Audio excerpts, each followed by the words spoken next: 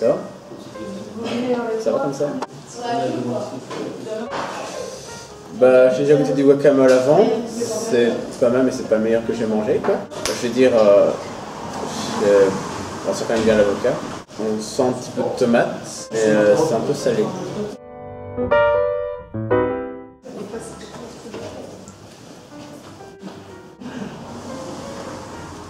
Le guacamole pas une consistance euh, super liquide. Si je peux avancer une hypothèse, c'est que celui-là a été fait maison, celui-là a été acheté. Au niveau des goûts, je préfère euh, celui-là quand même, parce qu'on sent beaucoup plus euh, ce qu'il y a dedans. Là, ça fait un peu euh, pâteux.